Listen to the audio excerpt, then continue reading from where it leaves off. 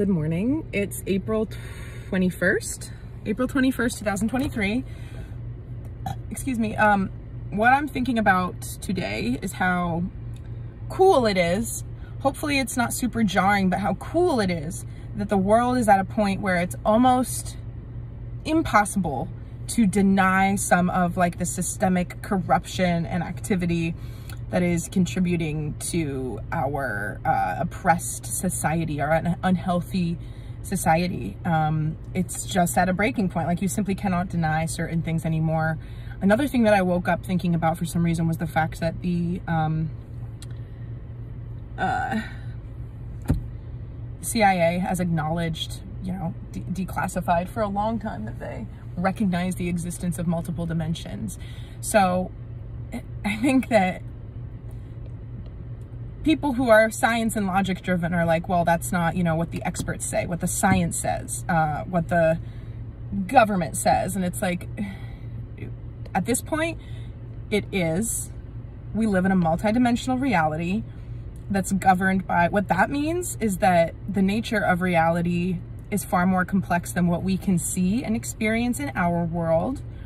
And the, the, the common ground is the energetic language uh, for so much of my life, I've known that, but being, you know, a young person who's been coming into their own for my, you know, my whole like childhood, teens, young adulthood, it hasn't been, it, there's just so much cognitive dissonance between what I experience, what I know to be true, what I, what I see, what happens, and, and then not really having people in my life who validate it and, and agree and support it. Obviously that's changing and uh, has been changing for a very long time and I feel very confident in the things that I experience now. But then there's a transitional period of being like, well, I, I know it to be true, but it, it still affects me when I'm talking about certain things and people are really uninterested in hearing it or believing it because it threatens the safety of the world that they've built around them and their ability to kind of latch on to certain truth points and touchstones the deconstruction of a world or a belief system is traumatizing.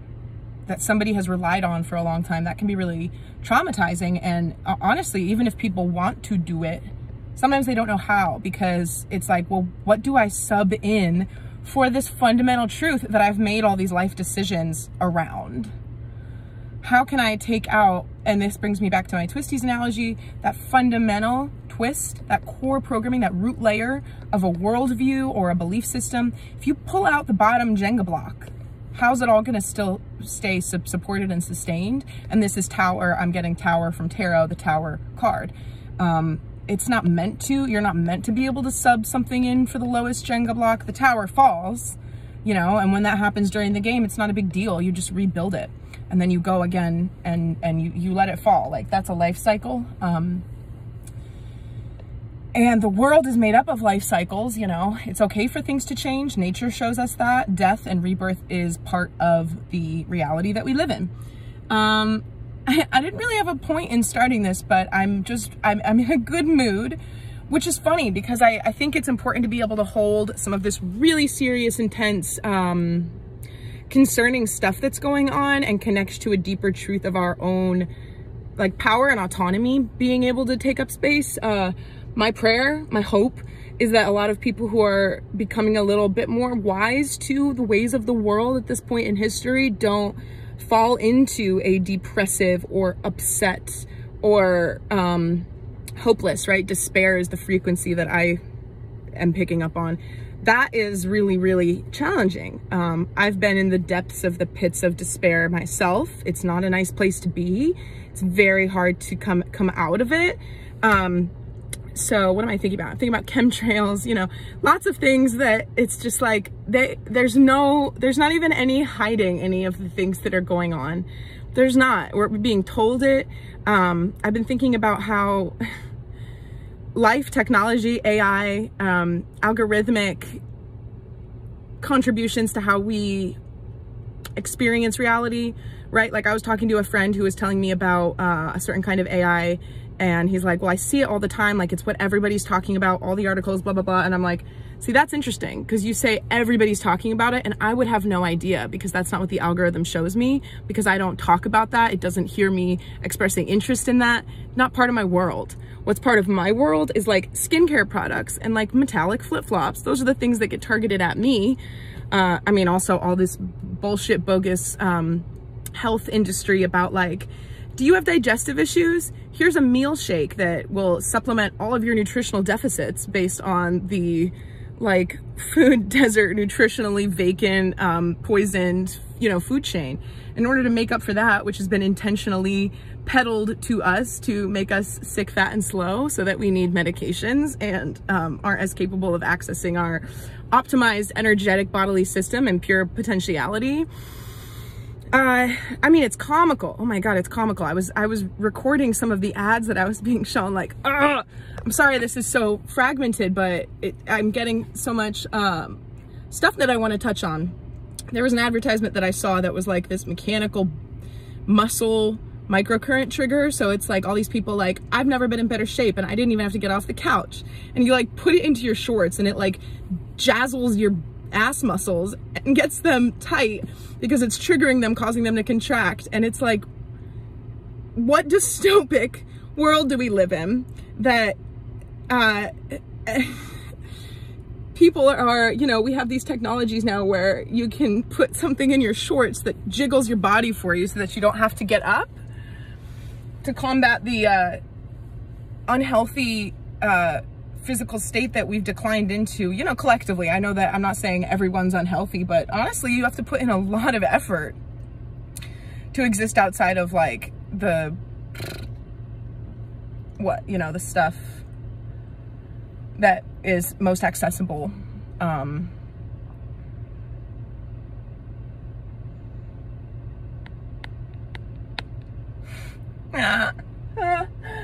um,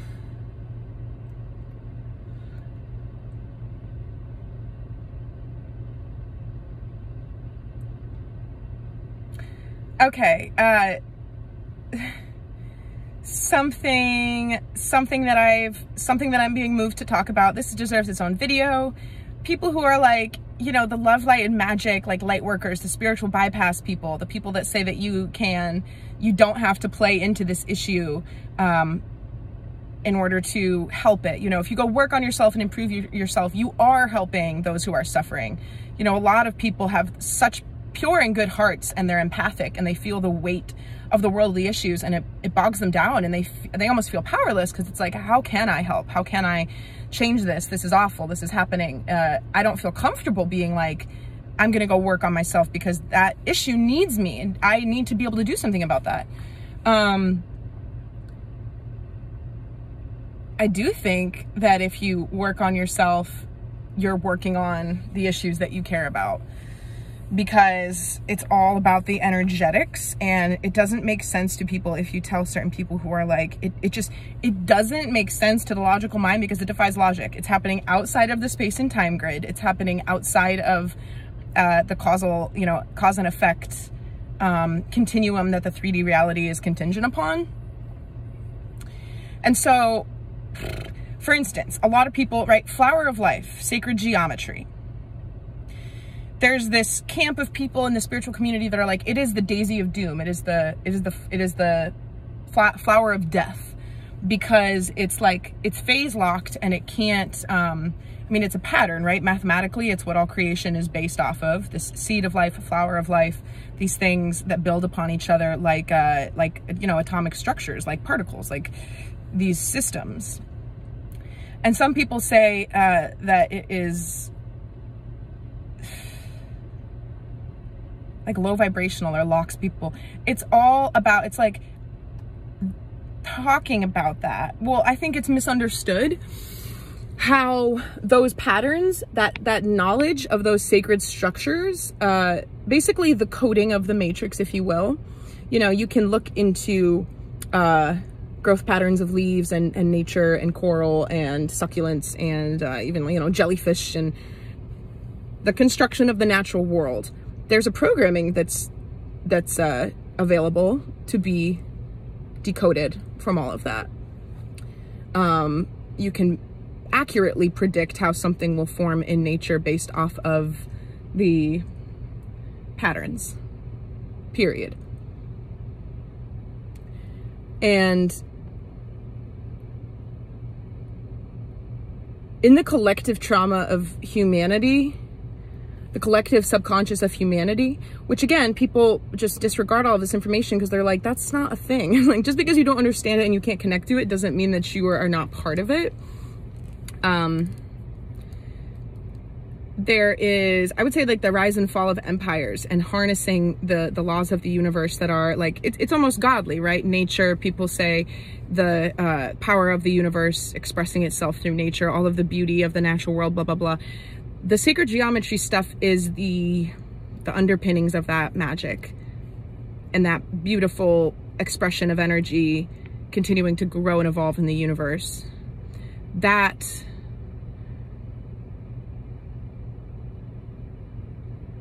I, I would say with free will and in this realm that humans live in, you know, they say, people have said that it can be um, harnessed to create things.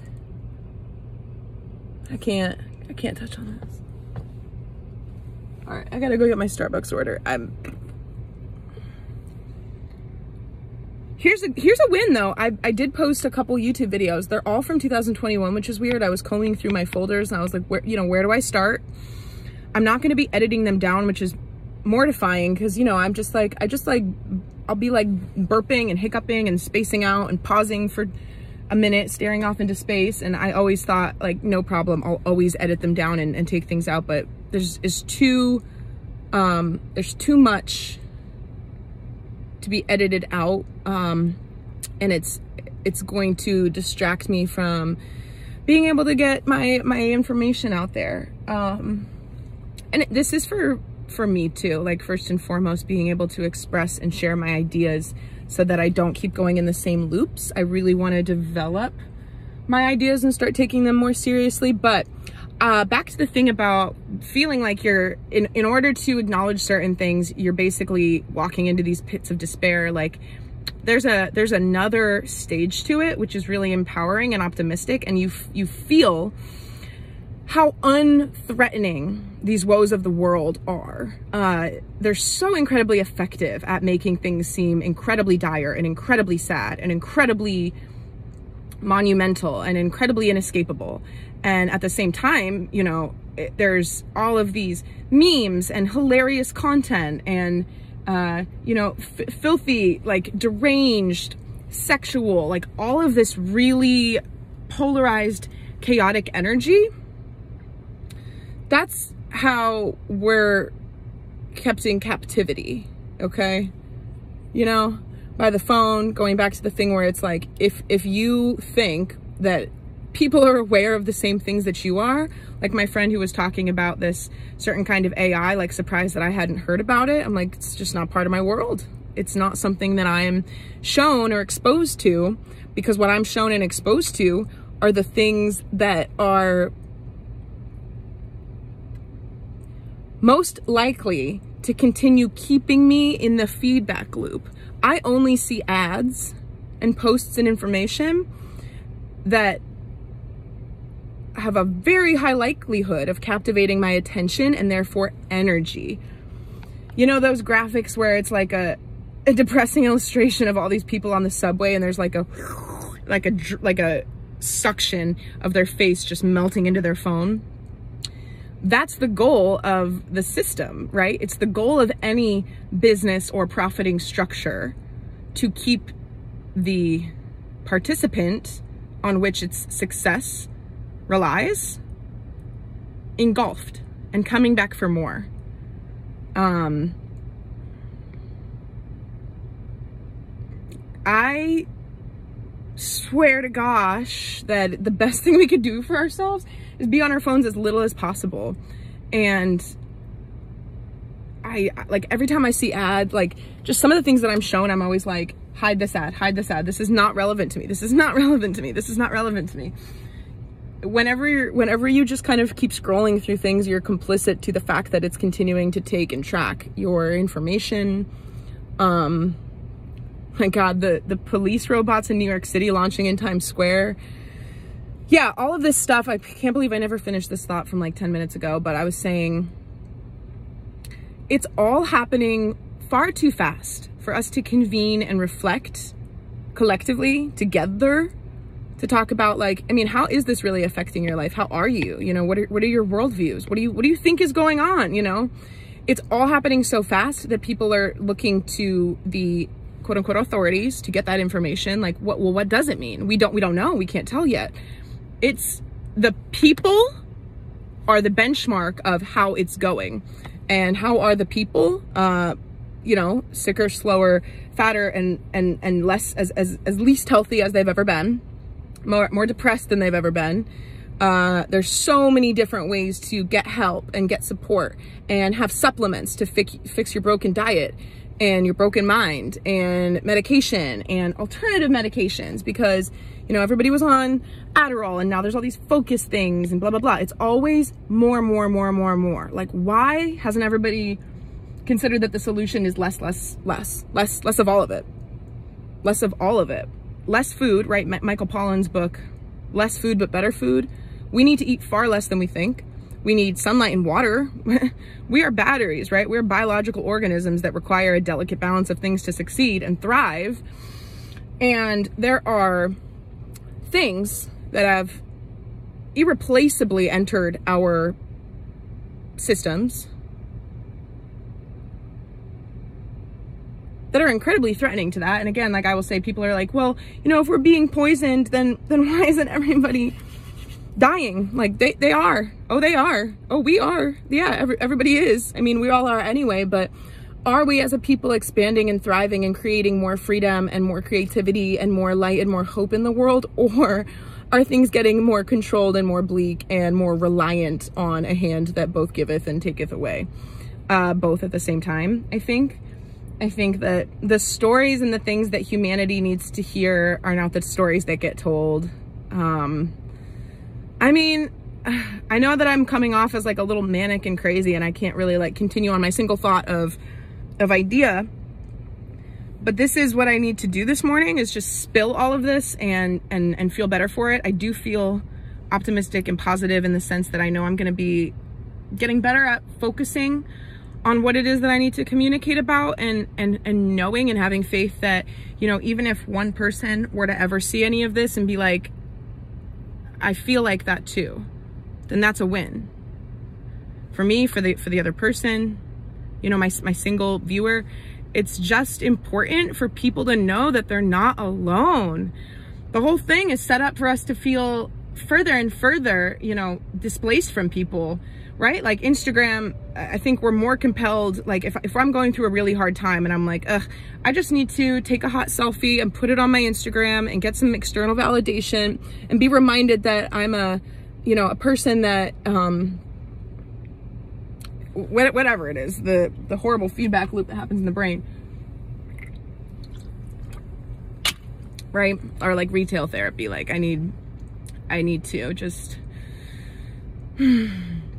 buy something new or anybody's vices, right? Like I, I need a drink. I need a cigarette. I need to, I just want to play my video games and tune out. I just can't wait to just, you know, get home and watch TV and tune out. We all have something that helps us just tune it all out. Um, and I think the, the thing about it is that the more and more, like, say I do that, I really want just to, like, get some likes on a photo to help my little self-esteem feel better. Uh, I guess the people that would see that would be like, oh, like she's doing really well, you know? I don't have an obligation to be like, I'm posting this because I need a little uptick in my mood and things aren't actually going well at all. I don't have to say that. I, I don't feel it's necessary. That's not how I use my Instagram. I use it as a, a, you know, a digital collage of things that I think are pretty, including myself. And that's okay. You know, it's, it's my Instagram. Um, that's why I'm trying to do this YouTube because that's not the, all there is to to to me or what I think and how I feel and how I want to communicate and show up in an online space where like I it's all fake, right? Our, our food is fake. People's fucking faces and bodies are fake at this point. Uh, news is fake. Media is fake. Little policemen are fake. so what is reality, right? And then there's that show coming out. I just saw it. Like, it's insane to me. Okay, this takes me back to Super Bowl ads where I think it was Adam Driver and he's like, how do you know what is real? Like, how can you not see at this point how much effort is going into intentionally destabilizing collective society and trying to unhinge us from being able to discern what's real. You know, like I believe that a lot of um, really cute animal content videos, like stunts, all of it's computer generated or AI generated. And, and a lot of people are like, oh, so cute. It's a, it's a, it's a bunny being held by, or like riding a goose wearing a sun hat, you know, and it looks so real, but it's like, I, I, I don't think so. I don't. I think you can tell uh, when images are patched together. You it like it takes a lot of um, once you see, you can't unsee. I know that's cliche and it's all like uh, the conspiracy rabbit hole, but it's true. Um, the, the, I think it's a Sydney Sweeney show that's coming out, something about, you know, based on a true story, right? Uh, but the timing of its release, yeah. Um, and then she's, she's something like a, she had a military past and sworn to silence and reality. And she's like, well, if I, if I, if I know about this, then why can't I talk about it? Again, just feeding into all of this release of information, these, these soft launches, these blatant disclosures, but it's all like, it is fiction. It is sci-fi, like Stranger Things, portals, opening, uh, uh, portals to different dimensions. Like basically I'm just in this wired, incredulous state of validating my inner child and being like, yeah, I've, I've known for the majority of my life that there is something that's true. And then there's everything else that's built on top of it. And as I've gotten older and as I've grown up in a world that's gotten further and further washed out to sea from the shore of reality, I'm like, there's a reason why I feel this way. There's a reason why I see this way. And I know that other people feel that way too, you know? And uh, when it comes to like when people talk about light workers, they're intentionally put at different places around the globe because when you do certain things where you can spread your energy and light out, right? I think I've talked about this in other videos, but who knows what the order of, you know, how I post these is going to be. I'm aware of how my aura can touch and affect other people and how big I can get it. Like if I'm alone for a long time out in nature, my aura gets really big. It's a safe place for me to be able to do that. It rejuvenates me to be able to do that, to just cast it out, push it out on all sides of me uh, you know, imagine light workers, people who have certain awarenesses and abilities energetically to kind of stabilize this really wonky energy that's happening because we're all like little, you know, particles in a copper battery going, it doesn't feel good. What is going on? Blah, blah, blah. To kind of unplug from that and be like, oh, it's rough. Uh, I want to infuse this whole general vicinity with calm, with stability. There's a vibration that I'm going to make the dominant vibration here to stabilize this. There are people like myself who are doing that all over the world. And when they do that, those frequencies and those vibrations, they will, you know, they'll create a net, again, twisties, grids, ley lines. Mother Earth, right? We, I, in fact, uh, I believe people are positioned on certain points of the earth to correlate with Mother Earth's like ley lines and, and Gaia, Pachamama energy of the, uh, of the globe. Yeah, I just, I, I feel very excited about the potential for other people to not be as depressed as they are now. That's my hope. Because I feel like I have a uh, pretty worthwhile story and journey to share around how mental illness, mental health, spirituality, spiritual awakenings, quote unquote, dark nights of the soul, um, your own abilities, your own experiences, like all of that needs to be talked about. We need to give language to it. We need to give examples to it. Uh, we need to be able to hold seemingly con contradictory belief systems and ideas together and kind of let them break our minds apart and then see what's left, you know, after it all falls away. What are the truths that remain oh, there's just so much. I believe this is going to be a start. Again, it's April 21st, 2023. I believe that this is going to be the start of a really good chapter for me where hopefully I kind of can get my act together and be more useful, you know, because I know that, um, I said this the other day to friends, it is as if they are my, my guides, my spirit team, my angels, saints, ancestors are hanging out on my doorstep, just knocking on the door saying like, we want to come through.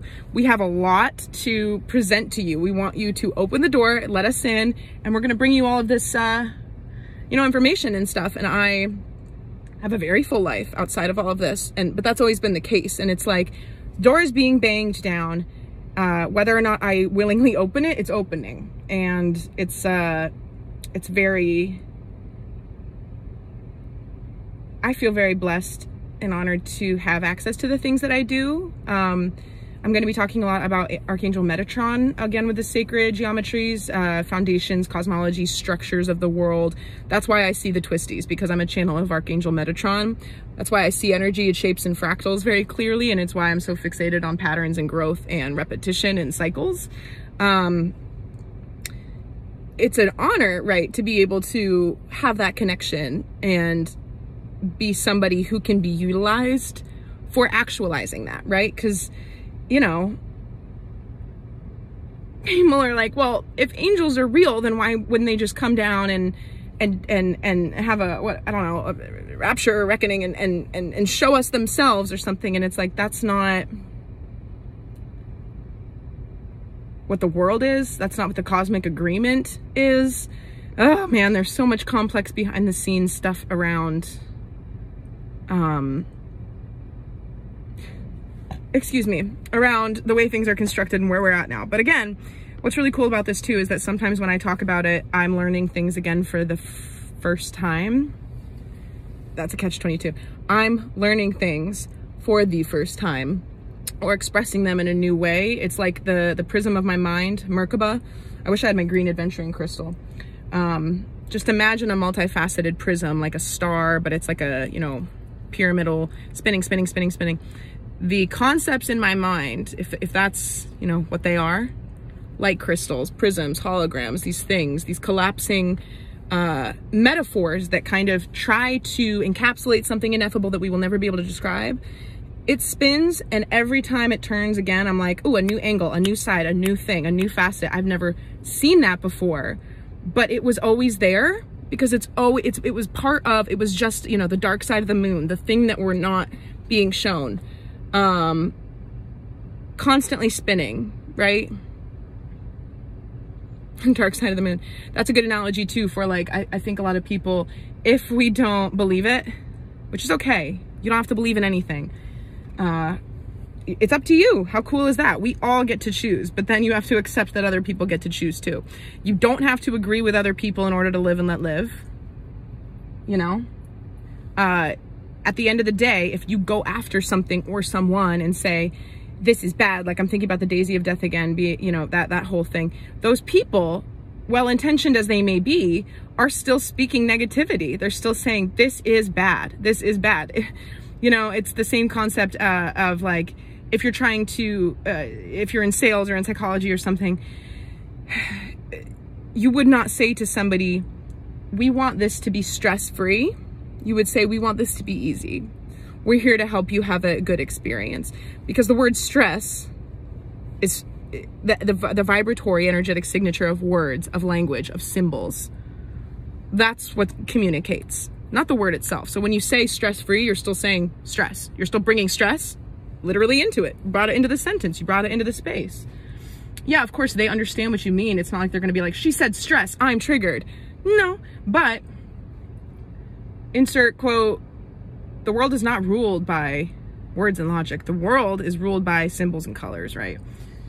And again, all of the conundrums that are like, it is laughable how, how desperate people are to ignore certain things and, and not have to deal or reconcile with what the world's showing us today like oh I lost it. That's okay. Yeah I gotta go get my Starbucks. Um